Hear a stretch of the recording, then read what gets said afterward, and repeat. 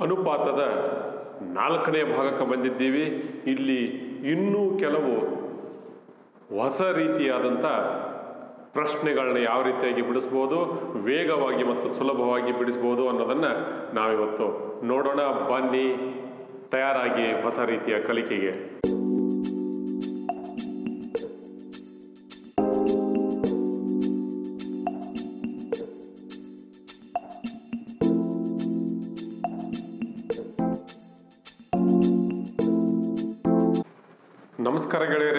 ಡೆಸ್ಟಿನ್ ವಿದ್ಯಾಸಂಸ್ಥೆಯ ಕಲಿಕಾ ಚಾನಲ್ಗೆ ತಮಗೆಲ್ಲ ಸ್ವಾಗತ. ಈಗ ಅನುಪಾತದ ನಾಲ್ಕನೆಯ ಭಾಗದಲ್ಲಿದ್ದೀವಿ. ಇಲ್ಲಿ ನಾವು ಬೇರೆ ರೀತಿಯ, ಇಲ್ಲಿವರೆಗೂ ಕಲಿತದ್ದಕ್ಕಿಂತ ಬೇರೆ ರೀತಿಯ ಪ್ರಶ್ನೆಗಳನ್ನ ಯಾವ ರೀತಿಯಾಗಿ ಸಾಲ್ವ್ ಮಾಡ್ಬೋದು, ಅದರಲ್ಲಿ ಪರ್ಸೆಂಟೇಜ್ ಬರ್ಬೋದು ಫ್ರ್ಯಾಕ್ಷನ್ ಬರ್ಬೋದು, ಬೇರೆ ಅನುಪಾತಗಳು ಬರ್ಬೋದು, ಅವುಗಳನ್ನು ಎಲ್ಲ ಯಾವ ರೀತಿಯಾಗಿ ನಾವು ಸಾಲ್ವ್ ಮಾಡ್ಬೇಕು ಅನ್ನೋದನ್ನು ಈ ವಿಡಿಯೋದಲ್ಲಿ ನೋಡಲಿದ್ದೇವೆ.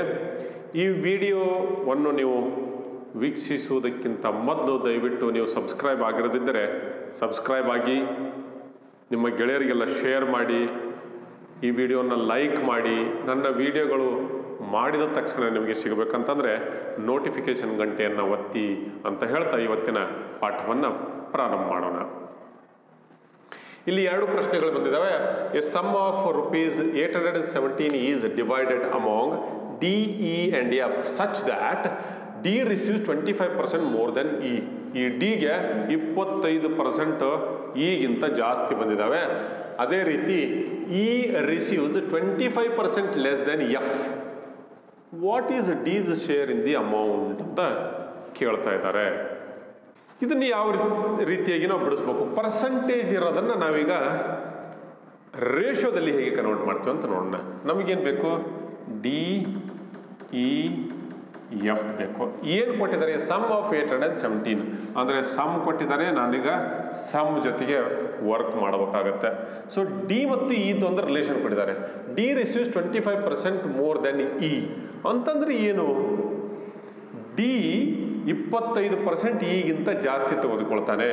ಅಂದರೆ ಈಗ ನೂರು ಸಿಕ್ಕರೆ ಡಿಗೆ ನೂರ ಇಪ್ಪತ್ತೈದು ಸಿಗಬೇಕು. ಈಗ ನೂರು ಸಿಕ್ಕರೆ ಇವನಿಗೆ ಜಾಸ್ತಿ ಬರ್ಬೇಕಲ್ಲ. ಸೊ ಇವನಿಗೆ ಎಷ್ಟು ಬರ್ಬೇಕು? ನೂರ ಇಪ್ಪತ್ತೈದು.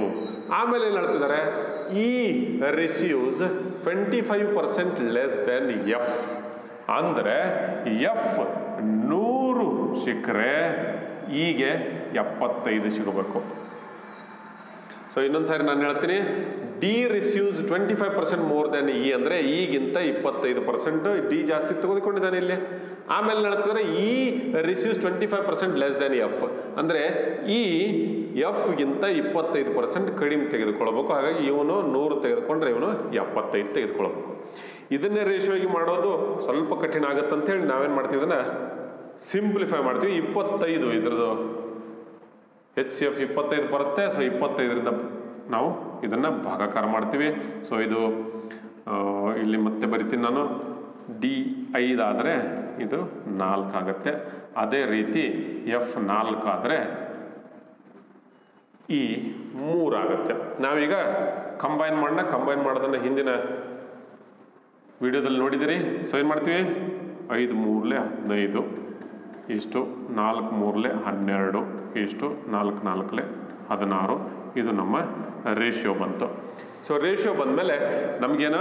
ಈಗ ಇದು ಯಾವುದರಿಂದ ಭಾಗ ಆಗುತ್ತಾ, ಯಾವುದರಿಂದಲೂ ಭಾಗ ಆಗೋದಿಲ್ಲ. ಸೊ ಇದೇ ರೇಷಿಯೋನ ನಾವು ವರ್ಕ್ ಮಾಡಬೇಕು. ಸಮ್ ಎಷ್ಟು ಕೊಟ್ಟಿದ್ದಾರೆ? ಏಯ್ಟ್ ಹಂಡ್ರೆಡ್ ಆ್ಯಂಡ್ ಸೆವೆಂಟೀನ್ ನಾವು ಇದನ್ನೇನು ಮಾಡಬೇಕು? ಡಿವೈಡ್ ಮಾಡಬೇಕು. ಈ ಮೂರದರ ಸಮ್ಮಿಂದ ಸೊ ಎಷ್ಟಾಗುತ್ತೆ? ಹದಿನೈದು, ಇಪ್ಪತ್ತೇಳು ಇಪ್ಪತ್ತೇಳು, ಮೂವತ್ತೇಳು ಮೂವತ್ತೇಳು, ಒಂದು ನಲವತ್ತ್ ಮೂರು ಆಗುತ್ತೆ. ಸೊ ನಲವತ್ತ್ ಮೂರಿಂದ ಭಾಗಾಕಾರ ಮಾಡಬೇಕು. ಸೊ ನಲವತ್ತ್ ಮೂರರಿಂದ ಭಾಗಾಕಾರ ನಲವತ್ತ್ಮೂರು ಇದು ಒಂದು ಪ್ರೈಮ್ ನಂಬರ್ ಇರೋದ್ರಿಂದ ಡೈರೆಕ್ಟ್ ಆಗಿನ ಭಾಗಾಕಾರ ಮಾಡಬೇಕು. ನೋಡಿದ್ರೆ ಏನು ಕಾಣ್ತಾ ಇದೆ ನನಗೇನು ಕಾಣ್ತಾ ಇದೆ ಅನ್ನೋದನ್ನ ಇಲ್ಲಿ ಯೋಚನೆ ಮಾಡೋಣ ಸೊ ಇಲ್ಲೇನು ಕಾಣ್ತಾ ಇದೆ ಅಂತಂದರೆ, ಇದು ನಲವತ್ತ್ಮೂರು ನಲವತ್ತ್ಮೂರು ಒಂದಲೇ ನಲವತ್ತ್ಮೂರು ಸೊ ನಲವತ್ತ್ಮೂರು ಒಂದಲೇ ನಲವತ್ತ್ಮೂರು ಬಂತು. ಆಮೇಲೆ ಹದಿನೇಳು ಬರ್ತಾ ಇದೆ. ಒಂಬತ್ತರಿಂದ ಭಾಗಾಕಾರ ಮಾಡಿದರೆ ಇದು ಹದಿನೇಳು ಬರಬೇಕು. ಸೊ ಏಳು ಬರಬೇಕು. ಮೂರೊಂಬತ್ತಲೇ ಇಪ್ಪತ್ತೇಳು ಇರೋದ್ರಿಂದ ಇದು ಒಂಬತ್ತು ಇರುತ್ತೆ ಅಂತ ನಂಗೆ ಗೊತ್ತಾಗುತ್ತೆ. ಅದರಲ್ಲಿ ಎಂಟುನೂರ ಹದಿನೇಳು ಇದೆ ಅಂತಾರೆ, ಎಂಟುನೂರ ಅರವತ್ತು ಆಲ್ಮೋಸ್ಟ್ ಡಬಲ್ ಇದೆ. ಡಬಲ್ ಅಂದರೆ ಇಪ್ಪತ್ತು ಪಟ್ಟಿದೆ. ಇಪ್ಪತ್ತು ಪೆಟ್ಟಕ್ಕೆ ಒಂದಿಷ್ಟು ಕಡಿಮೆ ಇದೆ. ಸೊ ಇದು ಹತ್ತೊಂಬತ್ತು ಅಂತ ಬರುತ್ತೆ. ಸೊ ಇದನ್ನು ನಾವು ಈ ರೀತಿಯಾಗಿ ಸಾಲ್ವ್ ಮಾಡಿದರೆ ಹತ್ತೊಂಬತ್ತು ಬಂತು. ಈಗೇನು ಕೇಳ್ತಾರೆ? What is the D's share D share ಎಷ್ಟು? ಹತ್ತೊಂಬತ್ತು ಇಂಟು ಹದಿನೈದು. ಸೊ ಹದಿನೈದನ್ನು ಹೆಂಗೆ ಮಾಡ್ತೀವಿ? ನೂರ ತೊಂಬತ್ತು ಪ್ಲಸ್ ತೊಂಬತ್ತೈದು, ಏಳ್ನೂರ ಎಂಬತ್ತೈದು ಇದರ ಉತ್ತರ. ಸೊ ಇದು ಹದಿನೈದು ಹತ್ತೊಂಬತ್ತಲೆ ಅಂತಂದರೆ ನಾವು ಆ ರೀತಿ ಅದನ್ನು ಮೂರ್ನೂರಿನಲ್ಲಿ ಹದಿನೈದು ಕಳೆದಾದರೂ ಮಾಡ್ಬೋದು ಅಥವಾ ನೂರ ತೊಂಬತ್ತು ಪ್ಲಸ್ ಅದರ ಅರ್ಧ, ತೊಂಬತ್ತೈದು ಎರಡು ನೂರ ಎಂಬತ್ತೈದು ಇದರ ಉತ್ತರ. ಇಲ್ಲಿ ಮುಖ್ಯವಾಗಿ ಇದನ್ನೆಲ್ಲ ನೀವು ಮಾಡ್ತೀರಿ. ಮುಖ್ಯವಾಗಿ ಬೇಕಾಗಿದ್ದೇನೋ? ಈ ಪರ್ಸೆಂಟೇಜನ್ನು ರೇಷದಲ್ಲಿ ಹೇಗೆ ನಾವು ಕನ್ವರ್ಟ್ ಮಾಡ್ತೀವಿ ಅನ್ನೋದನ್ನು ನಾವು ಕಲಿಬೇಕಾಗಿದೆ. ಈಗ ಇನ್ನೊಂದು ಪ್ರಶ್ನೆಯನ್ನು ನೋಡೋಣ.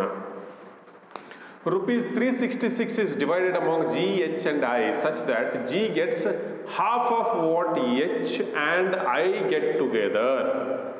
G ಏನು ಮಾಡ್ತಾನಂತಂದರೆ ಎಚ್ ಮತ್ತು ಐಗೆ ಸಿಕ್ಕಂಥದ್ರಲ್ಲಿ ಅರ್ಧವನ್ನು ಪಡಿತಾನೆ ಅಂತ ಹೇಳ್ತಾ ಇದ್ದಾರೆ ಸೊ ಇಲ್ಲಿ ಜಿ ಎಚ್ ಇದನ್ನು ನಾವು ಆ ರೀತಿಯಾಗಿ ಮಾಡೋಕ್ಕೆ ಬರಲ್ಲ ಯಾಕಂತಂದ್ರೆ ಇಲ್ಲಿ G H and I combine ಮಾಡ್ತಾ ಇದ್ದಾರೆ. ಸೊ ಇಲ್ಲಿ ರೇಷಿಯೋ ಹೆಂಗೆ ಬರ್ತದ್ರೆ G is to H and I ಬರುತ್ತೆ. So G is to H and I ಅಂತಂದ್ರೆ ಏನು ಬಂತು ಮಾಡ್ತಾ ಇದ್ದಾರೆ ಅವರು? ಎಚ್ ಆ್ಯಂಡ್ ಐ ಎಷ್ಟು ಸಿಗುತ್ತೋ ಅದರ ಅರ್ಧ ಜಿಗೆ ಸಿಗ್ತಾ ಇದೆ. ಸೊ ಇವನಿಗೆ ಒಂದು ಸಿಕ್ಕರೆ ಇವನಿಗೆ ಅರ್ಧ ಸಿಗಬೇಕು. ಇವನಿಗೆ ಎರಡು ಸಿಕ್ಕರೆ ಇವನಿಗೆ ಒಂದು ಸಿಗಬೇಕು. ಇವ್ನು ನಾಲ್ಕು ಸಿಕ್ಕರೆ ಎರಡು ಸಿಗಬೇಕು. ಸೊ ರೇಷಿಯೋ ಏನಾಗುತ್ತೆ? ಯೋಚನೆ ಮಾಡಿಬಿಟ್ರೆ ಗೊತ್ತಾಗತ್ತೆ ನಮ್ಗೆ. ಇದು ಎರಡಾದರೆ ಇದು ಒಂದು. ಈ ಪ್ರಶ್ನೆಯಲ್ಲಿ ಈ ಒಂದು ಇನ್ಫಾರ್ಮೇಶನ್ ಬಿಟ್ಟು ಬೇರೆ ಯಾವ ಇನ್ಫಾರ್ಮೇಶನ್ನ ಅಗತ್ಯ ಇಲ್ಲ. ಯಾಕಂದರೆ ಅವ್ರು ಕೇಳ್ತಾ ಇರೋದೇನು share of G share of G ಇಲ್ಲಿಂದನೇ ನಾನು ತೆಗೆದು ಬಿಡ್ಬೋದು ಹೇಗೆ ತೆಗೆದು ಬಿಡ್ಬೋದು ಅನ್ನೋದನ್ನು ನೋಡೋಣ. ಇಲ್ಲಿ ಏನಾಗಿದೆ? ಮೂರು ರೇಷಿಯೋಗಳಿದ್ದಾವೆ ಎಚ್ ಅಂಡ್ ಐ ಟುಗೆದರ್ ಇದ್ದರೂ ನಮ್ಗೆ ಏನು ಬೇಕಾಗಿಲ್ಲ. ನಮ್ಗೆ ಎಚ್ ಬೇಕು ಜಿ ಬೇಕಾಗಿರೋದು. ಸೊ ಜಿ ಇಲ್ಲಿ ನಮಗೆ ಇಂಡಿವಿಜುವಲ್ ಆಗಿ ಸಿಕ್ಕಿದೆ. ಸೊ ನೇರವಾಗಿ ನಾನು ಏನು ಮಾಡ್ತೀನಿ? ಇದರಲ್ಲಿ ಮೂರು ಭಾಗ. ಇದೇನಿದು ಸಮ್ ಸಮ್ ಮೂರ್ನೂರ ಅರವತ್ತ ಆರಿದೆ ಸೊ ಮೂರ್ನೂರ ಅರವತ್ತಾರು ರೇಷಿಯೋ ಎಷ್ಟಿದೆ? ಡಿವೈಡೆಡ್ ಬೈ ತ್ರೀ ಸೊ ಎರಡನೇ ಸೇರಿಸಿ ತ್ರೀ ಬರುತ್ತೆ. ಸೊ ನನಗೆ ಎಷ್ಟು ಬಂತು? ಒಂದು ನೂರ ಇಪ್ಪತ್ತು ಎರಡು ಒಂದು ರೇಷಿಯೋ ಅಂತಂದರೆ ಇದು ಒನ್ ರೇಷಿಯೋ ವ್ಯಾಲ್ಯೂ ಇನ್ಮೇಲೆ ನಾವು ಒನ್ ರೇಷಿಯೋ ವ್ಯಾಲ್ಯೂ ಅನ್ನು ಮಾ- ಮಾಡ್ತೀವಿ. ಒನ್ ರೇಷಿಯೋ ವ್ಯಾಲ್ಯೂ ಎಷ್ಟು? ನೂರ ಇಪ್ಪತ್ತೆರಡು ನಮ್ಮ ಜಿಗೆ ಬೇಕಾಗಿರೋದು ನೂ ಒಂದು ರೇಷಿಯೋ ಸೊ ಹಂಗಾಗಿ ಅವನಿಗೆ ಜಿಗೆ ನೂರ ಇಪ್ಪತ್ತೆರಡು ಬೇಕಾಗುತ್ತೆ ಅನ್ನೋದನ್ನು ಅರ್ಥ ಮಾಡ್ಕೋಬೇಕು. ಇಲ್ಲಿ ಕೊಟ್ಟಂತ ಉಳಿದ ಎಲ್ಲ ಮಾಹಿತಿ ನಮಗೆ ಬೇಕಾಗಿಲ್ಲ. H gets two third of what G and I get together ಅಂತ ಕೇಳಿದ್ದಾರೆ. ಬಟ್ ಆವಾಗ ನಮ್ಗೇನ್ ಬೇಕು? ಬೇರೆ ಯಾವ್ದಾದ್ರು ಕೇಳಿ. ಎಚ್ ಕೇಳಿದ್ರು ಐ ಕೇಳಿದ್ರು ಅಂತ ನಾವು ಮುಂದೆ ಮಾಡಬೇಕಾಗ್ತಿತ್ತೇನೋ. ಆದರೆ ಕಾಂಪಿಟೇಟಿವ್ ಎಕ್ಸಾಮ್ನಲ್ಲಿ ನೆನಪಿನಲ್ಲಿ ಇಟ್ಕೊಳ್ಳಿ ಎಷ್ಟು ಬೇಕೋ ಅಷ್ಟೇ ಮಾಡಬೇಕು. ಪ್ರಶ್ನೆಯನ್ನು ಸರಿಯಾಗಿ ಅರ್ಥ ಮಾಡ್ಕೋಬೇಕು. ಇಲ್ಲಿಂದ ಇಲ್ಲಿವರೆಗೆ ಇದು ಇನ್ಫಾರ್ಮೇಶನ್ ಯೂಸ್ಲೆಸ್ ಇದೆ ಇದನ್ನು ನೀವು ದಯವಿಟ್ಟು ತಲೆಯಲ್ಲಿ ಇಟ್ಕೋಬೇಕು. ಯಾಕಂದ್ರೆ ನಮ್ಗೆ ಕೇಳಿರೋದು ಜಿ ಮಾತ್ರ. ಸೊ ಇದೇ ರೀತಿಯಾಗಿ ಮತ್ತೆ ಮುಂದಿನ ಪ್ರಶ್ನೆಗಳಿಗೆ ಹೋಗೋಣ. ಎಸ್ ಡನ್ ಸೊ ಇನ್ನು ಈ ಎರಡು ಪ್ರಶ್ನೆಗಳನ್ನ ಯಾವ ರೀತಿಯಾಗಿ ಸಾಲ್ವ್ ಮಾಡಬೇಕು ಅನ್ನೋದನ್ನು ನಾನು ನೋಡೋಣ. ಏನಿದೆ ಇಲ್ಲಿ? If one fourth area of a rectangle plot is two thousand seven hundred square metre and the width of the plot is ninety metres what is the ratio between width and length ಅಂತ ಕೇಳ್ತಾ ಇದ್ದಾರೆ. ಇಲ್ಲಿ ರೇಷೋನ ಕೇಳ್ತಾ ಇದ್ದಾರೆ ರೇಷಿಯೋನ ಕೊಟ್ಟಿಲ್ಲ. ನಾವೀಗ ನಮ್ಮ mensuration ಅಂದರೆ ಏರಿಯಾಗಳ ಇನ್ಫಾರ್ಮೇಷನ್ ತೆಗೆದುಕೊಂಡು ಇವುಗಳನ್ನ ಸಾಲ್ವ್ ಮಾಡಬೇಕಾಗತ್ತೆ. ಸೊ ಏನು ಕೊಟ್ಟಿದ್ದಾರೆ ಇಲ್ಲಿ? One fourth area of a rectangle plot one fourth area ಕೊಟ್ಟಿದ್ದಾರೆ ನೆನ್ಪಿನಲ್ಲಿ ಇಟ್ಕೊಳ್ಳಿ ಸೊ ಒನ್ ಫೋರ್ತ್ ಏರಿಯಾ ಎಷ್ಟಿದೆ? One fourth area is equal to two thousand seven hundred ಈಗ ಇಮಿಡಿಯೇಟ್ಲಿ ನಾವೇನು ಮಾಡಬೇಕು? ಒನ್ ಫೋರ್ತ್ ಇದೆ ಅಂತಂದರೆ ಟೋಟಲ್ ಏರಿಯಾ ಏನಿರಬೇಕು ಅಂತ ಕೇ ನಾವು ನಮ್ಮ ತಲೆಯಲ್ಲಿ ಪ್ರಶ್ನೆ ಬರಬೇಕು. ಆ ಪ್ರಶ್ನೆಗೆ ಉತ್ತರ ಕೂಡ ಏನು? Two thousand seven hundred into four ಯಾಕಂದರೆ ಒನ್ ಫೋರ್ತ್ ಇದೆ ಅಂದರೆ ಅದು ನಾಲ್ಕು ಪಟ್ಟು ಮಾಡಿದರೆ ನಮಗೆ ಏರಿಯಾ ಸಿಕ್ಬಿಡುತ್ತೆ. ಆಮೇಲೆ ಏನು ಕೊಟ್ಟಿದ್ದಾರೆ? ವಿಡ್ತ್ ಕೊಟ್ಟಿದ್ದಾರೆ. ವಿಡ್ತ್ ಈಸ್ ನೈಂಟಿ ಮೀಟರ್ಸ್ ನಮಗೆ ರೇಷಿಯೋ ಕೇಳ್ತಾ ಇದ್ದಾರೆ. ಏನದ ರೇಷಿಯೋ ವಿಡ್ತ್ ಟು ಲೆಂತ್ ಕೇಳ್ತಾ ಇದ್ದಾರೆ. ಸೊ ನಾ ಏನು ಮಾಡ್ಬೇಕೀಗ ವಿಡ್ತ್ ಈಗಾಗಲೇ ಕೊಟ್ಟಿದ್ದಾರೆ. ಲೆಂತ್ನ ಕಂಡುಹಿಡಿಬೇಕು. ನಮ್ಗೇನು ಗೊತ್ತು? Area is equal to length into breadth so breadth ಕೊಟ್ಟಿದ್ದಾರೆ ಲೆಂತ್ ಕಂಡುಹಿಡಿಬೇಕು. ಸೊ ಬ್ರೆಡ್ತ್ ಕೊಟ್ಟಿದ್ದಾರೆ ಲೆಂತ್ ಕಂಡುಹಿಡಿಬೇಕು ಅಂತಂದರೆ length is equal to area by breadth ಬರುತ್ತೆ. ಸೊ ಏರಿಯಾ ಬೈ ಬ್ರೆಡ್ ಅಂದರೆ two thousand seven hundred into four divided by ninety so ಎಷ್ಟು ಬರುತ್ತೆ? So ನಾನು ಯಾಕೆ ಹೀಗೆ ಇಟ್ಕೊಂಡಿದ್ದೀನಿ ಅಂತಂದ್ರೆ ನಮಗೆ ಮಾಡೋದಕ್ಕೆ ಸುಲಭ ಆಗುತ್ತೆ. ಸೊ ಒಂಬತ್ತು ಮೂರಲೇ ಇಪ್ಪತ್ತೇಳು, ಒಂದು ಸೊನ್ನೆ ಮೂರು ನಾಲ್ಕಲೆ ಹನ್ನೆರಡು, ನೂರ ಇಪ್ಪತ್ತು. ಸೊ ನೂರ ಇಪ್ಪತ್ತು ಏನಾಯ್ತದು? ಲೆಂತ್ ನಮ್ಮದು ನೂರ ಇಪ್ಪತ್ತು ಸಿಕ್ಕಿದೆ. ಸೊ ನೂರ ಇಪ್ಪತ್ತು ಮೀಟರ್ಸ್ ನಮ್ಮ ಲೆಂತ್ ವಿಡ್ತ್ ಆ್ಯಂಡ್ ಲೆಂತ್ದು ಏರಿಯಾ ಸಾರಿ ರೇಷಿಯೋ ಕೇಳ್ತಾ ಇದ್ದಾರೆ. ವಿಡ್ತ್ ಆ್ಯಂಡ್ ಲೆಂತ್ದು ರೇಷಿಯೋ ಕೇಳ್ತಾ ಇದ್ದರೆ ನಾನು ಇಲ್ಲೇ ಸಾಲ್ವ್ ಮಾಡಿಬಿಡ್ತೀನಿ. ವಿಡ್ತ್ ಮತ್ತು ಲೆಂತ್ ವಿಡ್ತ್ ನಮಗೇನು ಗೊತ್ತಿದೆ? ನೈಂಟಿ ಇದೆ. ಲೆಂತ್ ನಮ್ಗೆ ಗೊತ್ತಿದೆ. ನೂರ ಇಪ್ಪತ್ತು ಕಂಡು ಹಿಡಿದಿದ್ದೀವಿ. ಸೊ ಇದರ ರೇಷಿಯೋ ಏನಾಗುತ್ತೆ? ಹೋಗುತ್ತೆ. ಸೊ ಮೂರು ನಾಲ್ಕು, ತ್ರೀ ಇಷ್ಟು ಫೋರ್ ಇದರ ಉತ್ತರ. ಸೊ ಇದು ಸುಲಭವಾಗಿ ಅರ್ಥ ಆಗಿರ್ಬೋದು ಅಂತ ನಾನು ಅನ್ಕೋತೀನಿ. ಈಗ ಇನ್ನೊಂದು ಪ್ರಶ್ನೆ ಇದೆ ಇಲ್ಲಿ. ಈ ಪ್ರಶ್ನೆಯನ್ನು ಸಾಲ್ವ್ ಮಾಡೋಣ. The length the ratio of length and width of rectangular plot is five is to three ಇಲ್ಲೇನು ಮಾಡಿದ್ದಾರೆ ಅಂತಂದರೆ ರೇಷಿಯೋ ಕೊಟ್ಟುಬಿಟ್ಟಿದ್ದಾರೆ ಯಾವುದು? ಲೆಂತ್ ಮತ್ತು ವಿಡ್ತ್ ರೇಷಿಯೋ ಕೊಟ್ಟಿದ್ದಾರೆ. Five is to three the perimeter of the plot is ninety six metres what is its area ಈಗ ನೋಡಿ ರೇಷನ್ನ ಇನ್ನೊಂದು ರೀತಿಯಾಗಿ ನಾವು ಹೆಂಗೆ ಸಾಲ್ವ್ ಮಾಡ್ಬೋದು? ಇಲ್ಲೇನು ಕೊಟ್ಟಿದ್ದಾನೆ ಅವನು? ಪೆರಿಮೀಟರ್ ಕೊಟ್ಟಿದ್ದಾನೆ. ಪೆರಿಮೀಟರ್ ಕೊಟ್ಟಿದ್ದಾರೆ ಎಷ್ಟು? ನೈಂಟಿ ಸಿಕ್ಸ್ ಇದು ಸಮ್ ಅಲ್ಲ ಡಿಫರೆನ್ಸ್ ಅಲ್ಲ ರೇಷೋ ವ್ಯಾಲ್ಯೂ ಕೂಡ ಅಲ್ಲ. ಇದು ಯಾವುದೂ ಅಲ್ಲ. ಸೊ ಈಗ ಏನು ಮಾಡ್ಬೇಕು ನಾನು? ಪೆರಿಮೀಟ್ರ್ ಕೊಟ್ಟಿದ್ದಾರೆ ಅಂತಂದರೆ ರೇಷಿಯೋ ಕಂಡು ಹಿಡಿಬಿಡ್ತೀನಿ ನಾನು. ಅವ್ರೇನು ಕೊಟ್ಟಿರ್ತಾರೋ ಅದನ್ನೇ ಕಂಡುಹಿಡಿತೀನಿ. ಸೊ ಪೆರಿಮೀಟರ್ ಕೊಟ್ಟಿದ್ದಾರೆ ಅಂದರೆ ratio perimeter ಕಂಡುಹಿಡಿದ್ಬಿಡ್ತೀನಿ. So perimeter is equal to what perimeter is equal to two into length plus breadth so ಇಲ್ಲೇನಿದೆ? ನಮ್ಮ ರೇಷಿಯೋದಲ್ಲಿ ನಾನು ಆ್ಯಕ್ಚುಲ್ ಹೇಳ್ತಾ ಇಲ್ಲ ಆ್ಯಕ್ಚುಲ್ ಆಮೇಲೆ ಕಂಡುಹಿಡಿಯೋಣ. ಸೊ ರೇಷಿಯೋದಲ್ಲಿ ಏನಿದೆ? Two into five plus five plus three which is equal to sixteen five plus three eight eight to the sixteen so ನನಗೇನಾಯ್ತು ಈಗ ratio perimeter ಗೊತ್ತಾಯ್ತು? ಆ್ಯಕ್ಚುಯಲ್ ಪೆರಿಮೀಟರ್ ಇದೆ. ನಾವು ಮತ್ತೆ ಅದೇ ರೂಲಿಗೆ ಹೋಗ್ತೀವಿ. Actual value divided by ratio value so ನನಗೆ ಒಂದು ratio value ಗೊತ್ತಾಗಬೇಕಾದ್ರೆ ninety six divided by sixteen ಮಾಡ್ತೀನಿ. ಏನು ಬರುತ್ತೆ ನನಗೆ? ಸಿಕ್ಸ್ ಬರುತ್ತೆ. ಹದಿನಾರಲ್ಲೇ ತೊಂಬತ್ತಾರು. ಸಿಕ್ಸ್ ಇದು ಒನ್ ರೇಷಿಯೋ ವ್ಯಾಲ್ಯೂ ಸೊ ನನಗೇನು ಬೇಕೋ ಅದನ್ನು ನಾನೀಗ ಕಂಡುಹಿಡಿಬೋದು. ವಾಟ್ ಈಸ್ ಇಟ್ಸ್ ಏರಿಯಾ ಅಂತ ಕೇಳ್ತಾ ಇದ್ದಾರೆ ಏರಿಯಾ ಕಂಡುಹಿಡ್ಬೇಕಾದ್ರೆ ನಮಗೇನು ಗೊತ್ತು? ಏರಿಯಾ ಈಗಾಗಲೇ ನೋಡಿದ್ವಿ. Length into breadth area is equal to length into breadth so length ಸಿಕ್ಕಾಗಿದೆ ನಮಗೆ. ಸಿಕ್ಸ್ ಇಂಟು ಆರು ಐದಲೇ ಮೂವತ್ತು. ಆಮೇಲೆ ವಿಡ್ತ್ ಆರು ಮೂರಲೆ ಹದಿನೆಂಟು ಹದಿನೆಂಟು ಮೂರಲೆ ಐವತ್ನಾಲ್ಕು, ಐದುನೂರ ನಲವತ್ತು. ಸ್ಕ್ವೇರ್ ಮೀಟರ್ ಇದರ ಉತ್ತರ. ಸೊ ಈ ರೀತಿಯಾಗಿ ಟ್ವಿಸ್ಟ್ ಮಾಡಿ ಕೇಳಿದರೂ ಕೂಡ ನಾವು ಸುಲಭವಾಗಿ ಇದನ್ನು ಸಾಲ್ವ್ ಮಾಡ್ಬೋದು.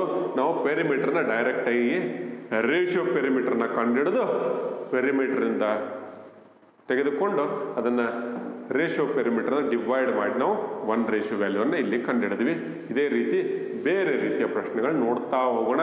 ನೀವು ಕಲಿತಾ ಹೋಗಿ, ಇದೇ ರೀತಿಯಾಗಿ ಖುಷಿ ಖುಷಿಯಾಗಿ ನಾವು ಯಶಸ್ಸಿನ ಹಾದಿನ ತಗೋಣ. ಈಗ ಮುಂದಿನ ಪ್ರಶ್ನೆಗಳು. ಪ್ರಶ್ನೆಗಳನ್ನು ಈಗ ನೋಡೋಣ.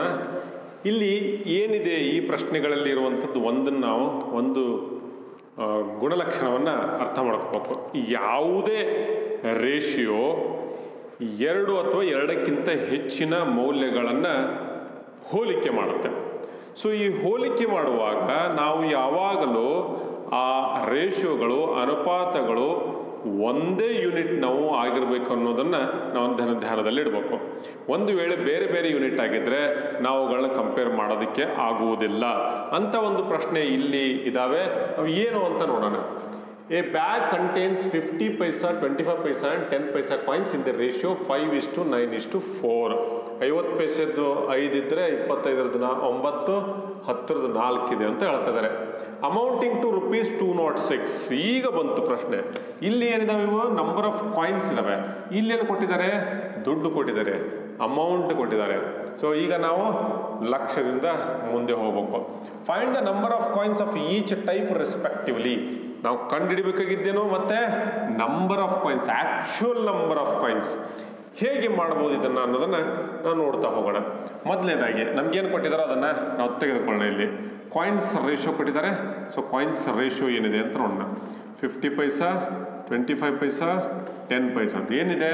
Five is to nine is to four ಇದೆ. ನಮಗೆ ಆಕ್ಚುಯಲ್ ವ್ಯಾಲ್ಯೂ ಕೊಟ್ಟಿರೋದು ಸಮ್ ಅಮೌಂಟ್ ದುಡ್ಡು. ಹಾಗಾಗಿ ನಾವು ಇದನ್ನು ದುಡ್ಡಿನಲ್ಲಿ ಕನ್ವರ್ಟ್ ಮಾಡಬೇಕು. ನೀವು ಪೈಸೆಯಲ್ಲಿ ಮಾಡಿರಿ, ಇಲ್ಲಂದ್ರೆ ರೂಪಾಯಿಯಲ್ಲಿ ಮಾಡಿರಿ ಒಟ್ಟಿನಲ್ಲಿ ಇದನ್ನು ನಾವು ದುಡ್ಡಿನಲ್ಲಿ ಕನ್ವರ್ಟ್ ಮಾಡಬೇಕು. ಸೊ ಐವತ್ತು ಪೈಸೆ ಕಾಯಿನ್ಗಳ ಒಟ್ಟು ಮೊತ್ತದ ratio so this is called ratio of rupees ಅಥವಾ ಮನಿ ಅಂತ ಮಾಡೋಣ. ಸೊ ಏನಾಗುತ್ತೆ ಈಗ ಐವತ್ತು ಇಂಟು ಐದು ಅಂತಂದರೆ ಎರಡು ನೂರ ಐವತ್ತು ಪೈಸೆ ಬರ್ತಾ ಇದೆ, ಬರಲಿ. ಒಂಬತ್ತು ಇಂಟು ಇಪ್ಪತ್ತೈದು ಅಂತಂದರೆ ಎರಡು ನೂರ ಇಪ್ಪತ್ತ ಐದು ನಾಲ್ಕು ಇಂಟು ಹತ್ತು ಅಂತಂದರೆ ನಲವತ್ತು. ಸೊ ಇದು ರೇಷಿಯೋ ಇದು ಯಾವುದರಲ್ಲಿದ್ದರೂ ತೊಂದರೆ ಇಲ್ಲ, ನಮ್ಗೆ ರೇಷಿಯೋ ಬಂದಿದೆ. ಈಗ ಇದನ್ನು ಸಿಂಪ್ಲಿಫೈ ಮಾಡ್ಬೇಕಂದ್ರೆ ಸಿಂಪ್ಲಿಫೈ ಮಾಡ್ಬೋದು. ಸೊ ಇಪ್ಪತ್ತೈದರಿಂದ ನಾನು ಭಾಕಾರ ಮಾಡ್ತೀನಿ. ಇಪ್ಪತ್ತೈದರಿಂದ ಭಾಕಾರ ಮಾಡಿದರೆ ನನಗೆ ಐವತ್ತು ಬರುತ್ತಿಲ್ಲಿ, ಇಲ್ಲಿ ನಲವತ್ತೈದು, ಇಲ್ಲಿ ಎಂಟು ಬರುತ್ತೆ. ಸೊ ನಮ್ಗೆ ಕೊಟ್ಟಿರೋದೇನು? ಸಮ್ ಕೊಟ್ಟಿದ್ದಾರೆ. ಸೊ ಸಮ್ ಎಷ್ಟಿದೆ? Is equal to two naught six so ಸಮ್ಮನ್ನು ಏನು ಮಾಡ್ತೀನಿ? ಇದ್ರ ಸಮ್ನಿಂದ ಡಿವೈಡ್ ಮಾಡ್ತೀನಿ. ಸೊ ರೇಷಿಯೋ ಸಮ್ ಎಷ್ಟಿದೆ ಇಲ್ಲಿ? ರೇಷಿಯೋ ಸಮ್ ಐವತ್ತೊಂಬ ತೊಂಬತ್ತೈದು ತೊಂಬತ್ತೈದು ನೂರ ಮೂರಿದೆ ಸೊ ಇದನ್ನು ನಾನು ಒನ್ ರೇಷಿಯೋ ವ್ಯಾಲ್ಯೂ ಕಂಡುಹಿಡಿದ್ರೆ ಎರಡು ನೂರ ಆರು ಡಿವೈಡೆಡ್ ಬೈ ನೂರ ಮೂರು ಈಸ್ ಈಕ್ವಲ್ ಟು ಎರಡು ಬರುತ್ತೆ. ಎರಡು ಬರುತ್ತೆ ಅಂತಂದ್ರೆ ನಾನೇನು ಮಾಡ್ಬೇಕೀಗ? ಇದನ್ನು ಇದನ್ನು ಗುಣಾಕಾರ ಮಾಡಿದರೆ ನನಗೆ ಆ್ಯಕ್ಚುಲ್ ಅಮೌಂಟ್ ಗೊತ್ತಾಗುತ್ತೆ. ಇಲ್ಲಿ ಎರಡನ್ನ ನಾನು ಈ ಅಮೌಂಟ್ನ ವ್ಯಾಲ್ಯೂನೊಂದಿಗೆ ಗುಣಾಕಾರ ಮಾಡಿದ್ರೆ ಒಂದು ವ್ಯಾಲ್ಯೂ ಅಂತಂದರೆ ಒಂದು ರೇಷ ಅಂದರೆ ಎರಡು ಅಂತ ಕೊಟ್ಟಿದ್ದಾರೆ. ಸೊ ಇದನ್ನು ನಾನು ಎರಡು ರೂಪಾಯಿ ಸೊ ಇದನ್ನು ಗುಣಾಕಾರ ಮಾಡ್ತೀನಿ. ಸೊ ಐವತ್ತು ಇಂಟು ಎರಡು ಎಷ್ಟು ಬರುತ್ತೆ? ಒಂದು ನೂರು ಇದು ಒಂದು ನೂರು ಐವತ್ತು ಪೈಸೆದ್ದು ಒಂದು ನೂರು ರೂಪಾಯಿ ಇದೆ. ಇಪ್ಪತ್ತೈದು ಪೈಸೆದ್ದು ನಲವತ್ತೈದು ತೊಂಬತ್ತು ರೂಪಾಯಿ ಇದೆ. ರೂಪಾಯಿ ತೊಂಬತ್ತಿದೆ ಆಮೇಲೆ ಹತ್ತು ಪೈಸೆದ್ದು ಎಲ್ಲ ಸೇರಿಸಿದರೆ ಎರಡು ಇಂಟು ಹದಿನಾರು ರೂಪಾಯಿ ಇದೆ. ಬಟ್ ಈ ರೇಷಿಯೋ ಬೇಕಾಗಿಲ್ಲ. ನಮಗೆ ಈಗಾಗಲೇ ದುಡ್ಡಿನ ರೇಷಿಯೋ ಗೊತ್ತಾಗಿದೆ. ದುಡ್ಡಿನ ರೇಷಿಯೋ ಮತ್ತು ಈಗ ಆ್ಯಕ್ಚುಯಲ್ ವ್ಯಾಲ್ಯೂ ಒಂದೊಂದರಲ್ಲಿ ಎಷ್ಟೆಷ್ಟು ದುಡ್ಡಿದೆ ಅನ್ನೋದು ಗೊತ್ತಾಯಿತು. ಈಗ ನಮಗೇನು ಬೇಕು? Ratio of sorry actual number of coins ಬೇಕು. Actual number of coins actual number of coins ಎಷ್ಟಿದಾವೆ ಅಂತೇಳಿ ಸೊ ಈಗೇನು ಮಾಡ್ಬೇಕು ನಾವು? ನೂರು ರೂಪಾಯಿಗೆ ಐವತ್ತು ಪೈಸಿದ ಎಷ್ಟು ಕಾಯಿನ್ಗಳು ಬೇಕಾಗುತ್ತವೆ ಅಂತ ನೇರವಾಗಿ ನಾವು ಉತ್ತರವನ್ನು ಕಂಡುಹಿಡಿಯೋದು ಎಷ್ಟು? ಎರಡು ನೂರು ಕಾಯಿನ್ಗಳು ಬೇಕು. ಆಮೇಲೆ ತೊಂಬತ್ತು. ಒಂದು ರೂಪಾಯಿಲಿ ನಾಲ್ಕು ಕಾಯಿನ್ಗಳಿರ್ತವೆ ಸೊ ಇದನ್ನೇನು ಮಾಡ್ಬೇಕು ನಾನು? ನಾಲ್ಕರಿಂದ ಗುಣಾಕಾರ ಮಾಡಬೇಕು ಮೂರ್ನೂರ ಅರವತ್ತು ಬಂತು. ಆಮೇಲೆ ಇಲ್ಲಿ ಹದಿನಾರು ರೂಪಾಯಿ. ಒಂದು ರೂಪಾಯಲ್ಲಿ ಹತ್ತು ಇದ್ದರೆ ಈಗೇನು ಮಾಡಬೇಕು? ನೂರ ಅರವತ್ತು ನಮಗೆ ಕಾಯಿನ್ಸ್ಗಳು ಬೇಕಾಗುತ್ತವೆ ಸೊ ಅವ್ರು ಕೇಳಿದಂಥ ನಂಬರ್ಸ್ ಎಷ್ಟು?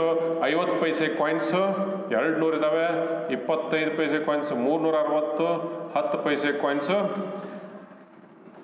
ನೂರ ಅರವತ್ತು ಇದು ಇದರ ಉತ್ತರ. ಆ್ಯಕ್ಚುಯಲ್ ನಂಬರ್ ಆಫ್ ಕಾಯಿನ್ಸ್ ನೀವು ಈ ರೀತಿಯಾಗಿ ಉತ್ತರವನ್ನು ಬರಿಬೇಕು.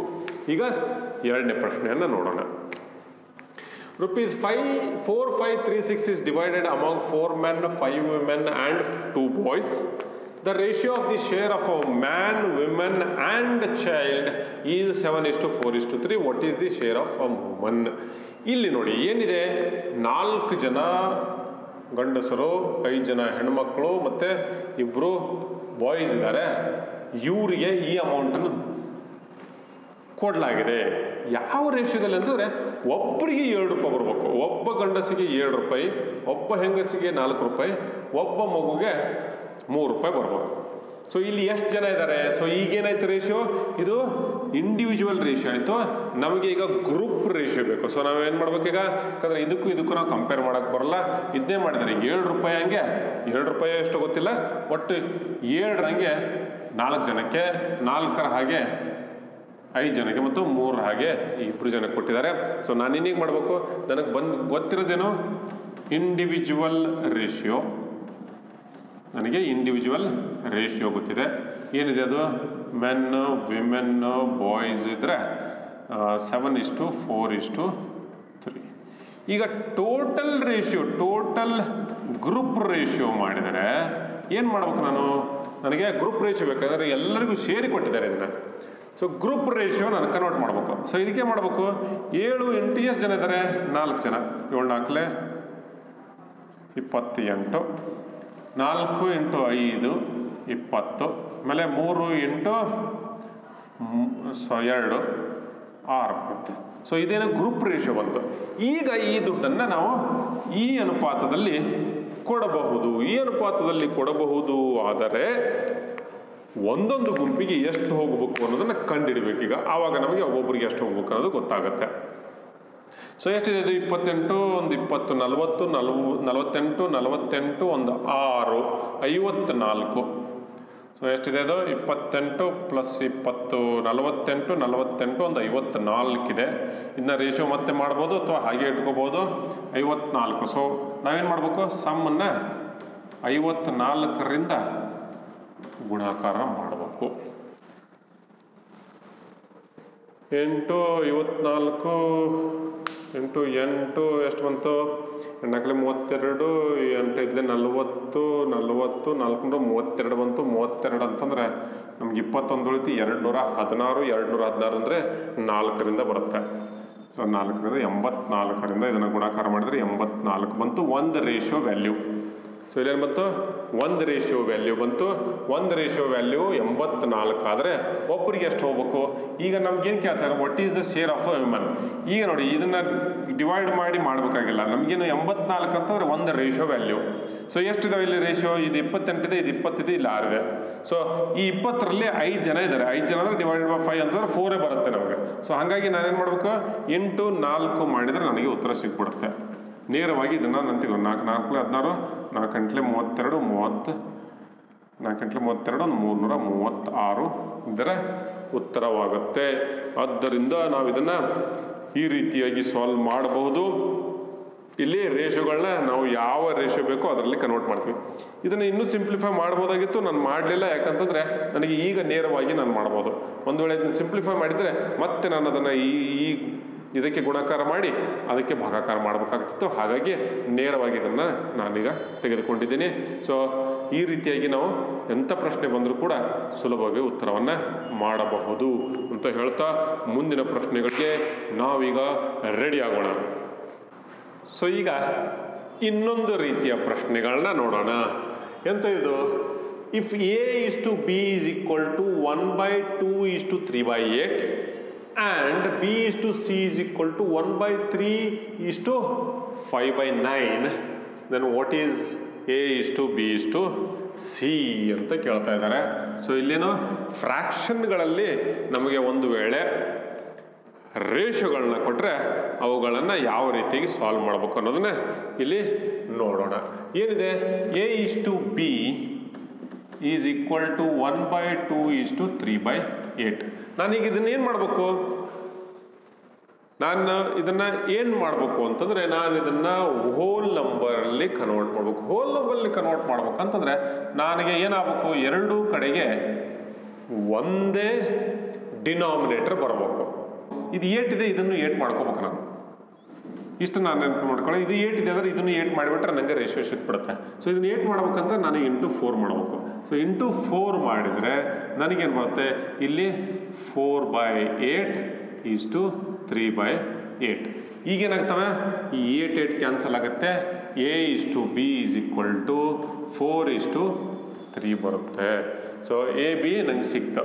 ಈಗೇನು ಮಾಡಬೇಕು? B C B is to C is equal to one by three is to five by nine ಮತ್ತೇನು ಮಾಡ್ಬೇಕಂದ್ರೆ ಇದನ್ನು ನೈನ್ ಮಾಡ್ಕೋಬೇಕು ಇದನ್ನು ನೈನ್ ಮಾಡ್ಕೋಬೇಕಂದ್ರೆ ಮೂರಿಂದ ಗುಣಾಕಾರ ಮಾಡಬೇಕು ಸೊ ತ್ರೀ ಬೈ ನೈನ್ ಇಷ್ಟು ಫೈವ್ ಬೈ ನೈನ್ ಒಂಬತ್ತು ಒಂಬತ್ತು ಹೋಯ್ತು which is equal to three ಇಷ್ಟು ಫೈವ್ ಸೊ ಎ ಇಷ್ಟು ಬಿ ಇಷ್ಟು ಸಿ ಸೊ ಎ ಇಷ್ಟು ಬಿ ಇಷ್ಟು ಸಿ ಅನ್ನು ನಾನು ಯಾವ ರೀತಿಯಾಗಿ ಮಾಡಬೇಕು ಅನ್ನೋದು ನಿಮ್ಗೆ ಈಗಾಗಲೇ ಗೊತ್ತು ಇಲ್ಲೇನಾಗಿದೆ ನೋಡ್ರಿ ಎ ಇಷ್ಟು ಬಿ ಇಸ್ ಫೋರ್ ಇಷ್ಟು ತ್ರೀ ಬಿ ಇಷ್ಟು ಸಿ ಇಸ್ ತ್ರೀ ಇಷ್ಟು ಫೈವ್ ಸೊ ಇಲ್ಲಿ ಎರಡೂ ಬಿಗಳ ವ್ಯಾಲ್ಯೂ ಮೂರಾಗಿದೆ ಎರಡೂ ವ್ಯಾ, ಬಿಗಳ ವ್ಯಾಲ್ಯೂ ಒಂದು ವೇಳೆ ಮೂರಾಗಿದ್ರೆ ನಾನು ನೇರವಾಗಿ ಇದನ್ನು ಬರಿಬೋದು.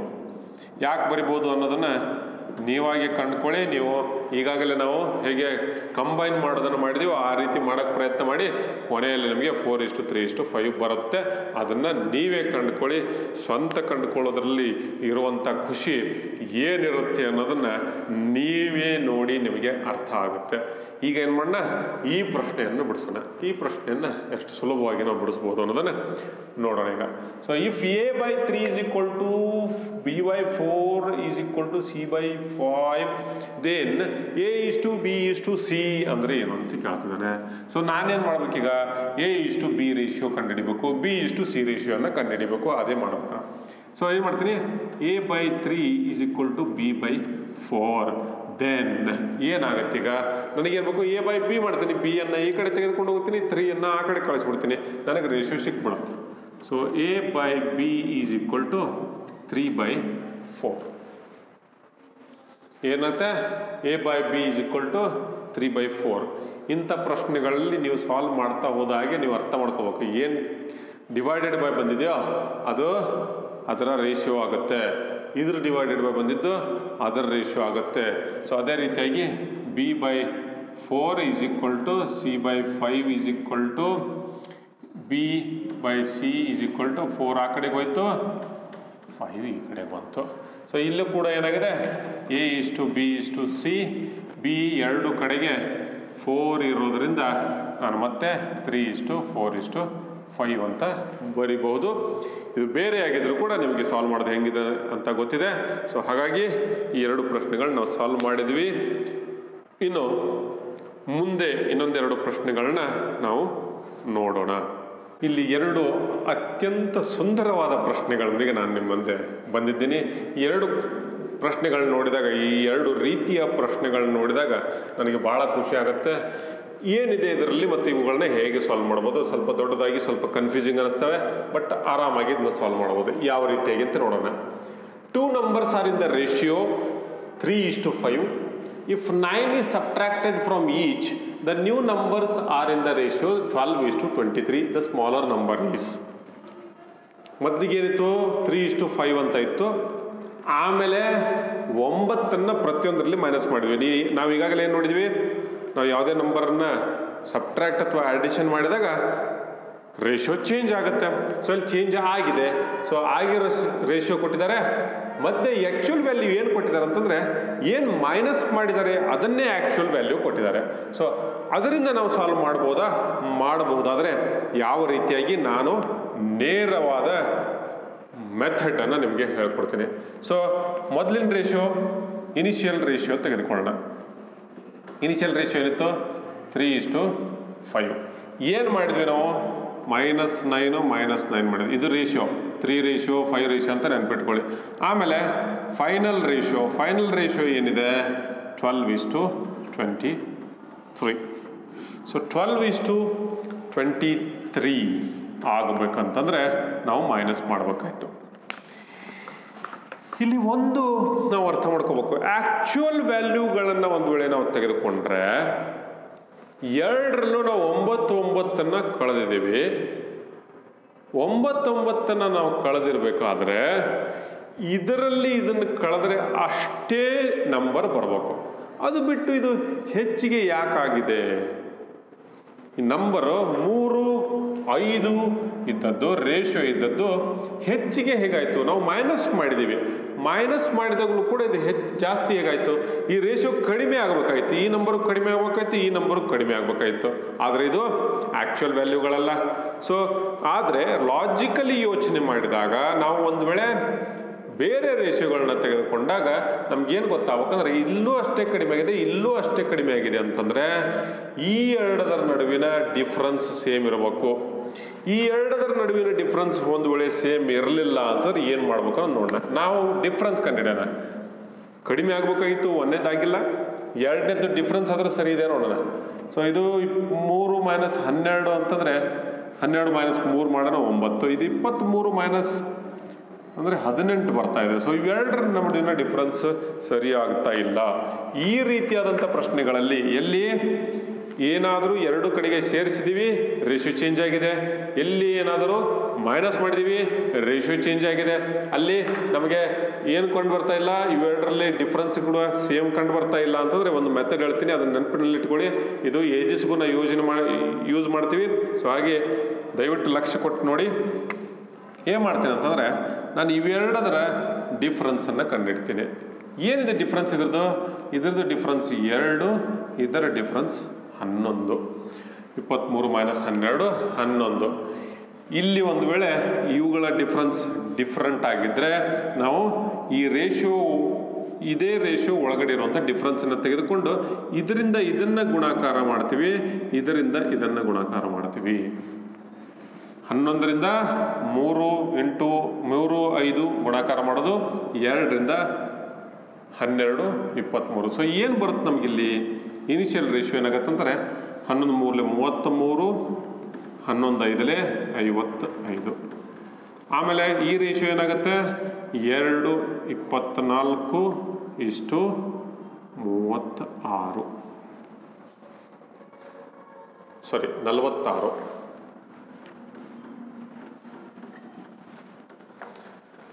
ಸೊ ಇನ್ನೊಂದು ಸರ್ತಿ ನಾನು ರಿಪೀಟ್ ಮಾಡ್ತೀನಿ, ನಿಮಗೆಲ್ಲ ಅರ್ಥ ಆಗೋದಕ್ಕೆ. ನಾವು ಏನು ನೋಡಿದ್ವಿ ಇಲ್ಲಿ ಅಂತಂದರೆ ಎರಡೂ ಕಡೆಗೆ ಅಷ್ಟೇ ಡಿಫ್ರೆನ್ಸ್ ಮೈನಸ್ ಮಾಡಿದಾಗಲೂ ಕೂಡ ನಮಗೆ ಇಲ್ಲಿ ಒಂದನೇದ್ದು ಕಡಿಮೆ ಆಗಬೇಕಾಗಿತ್ತು, ಜಾಸ್ತಿ ಆಗಿದೆ, ಎರಡನೇದ್ದು ಇದರ ಮತ್ತು ಇದರ ನಡುವಿನ ಮತ್ತು ಇದರ ಮತ್ತು ಇದರ ನಡುವಿನ ಡಿಫ್ರೆನ್ಸ್ ಸೇಮ್ ಆಗಿಲ್ಲ. ಅದಕ್ಕಾಗಿ ನಾವೇನು ಮಾಡಿದ್ವಿ?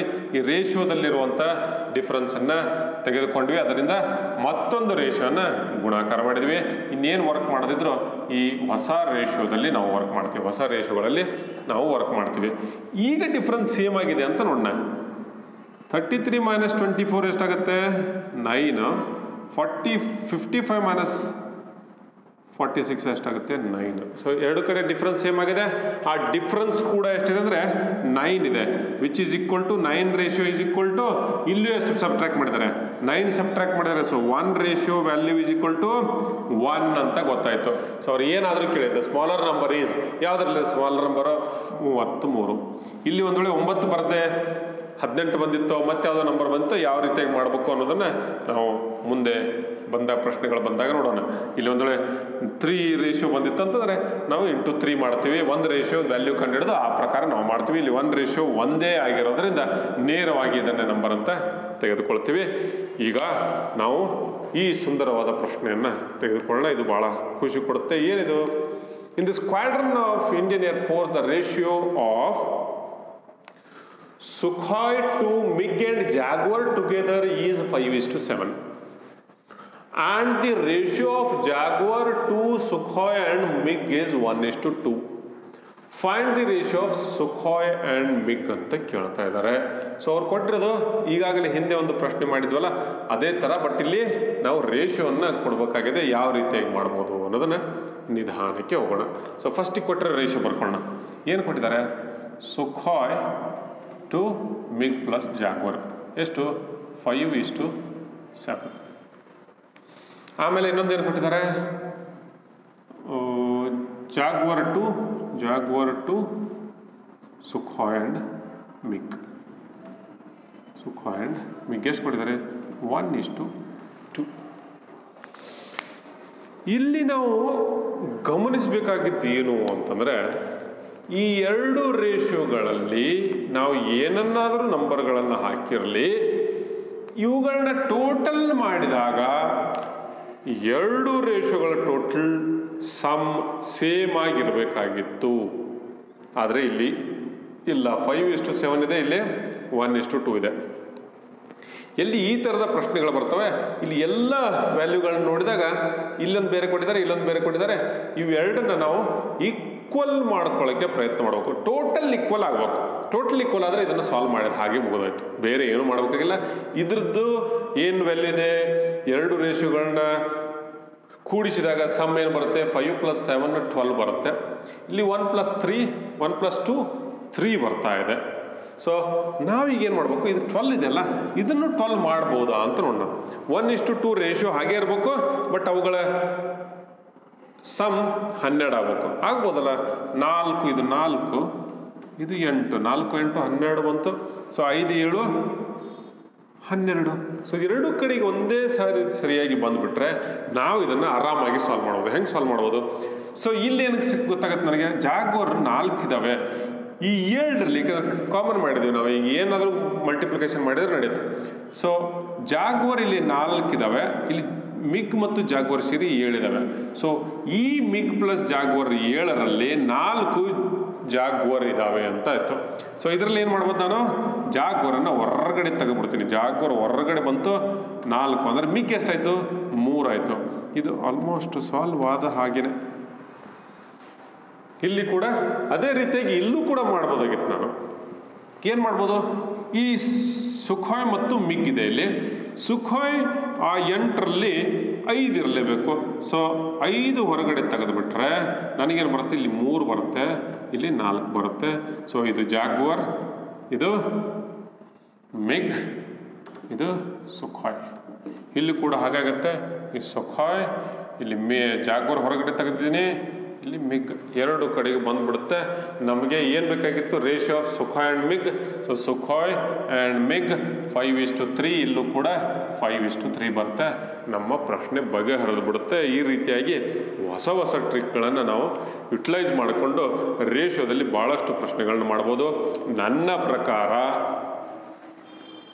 ಇಡೀ ಕ್ವಾಂಟಿಟೇಟಿವ್ ಆಪ್ಟಿಟ್ಯೂಡ್ ಆಪ್ಟಿಟ್ಯೂಡನ್ನು ನಾವು ರೇಷಿಯೋ ಕಾನ್ಸೆಪ್ಟಿಂದ ಎಂಬತ್ತು ಪರ್ಸೆಂಟ್ಗಿಂತ ಜಾಸ್ತಿ ಪ್ರಶ್ನೆಗಳನ್ನ ಬಗೆಹರಿಸ್ಬೋದು, ಬಿಡಿಸ್ಬೋದು, ವೇಗವಾಗಿ ಮಾಡ್ಬೋದು, ಸುಲಭವಾಗಿ ಮಾಡ್ಬೋದು.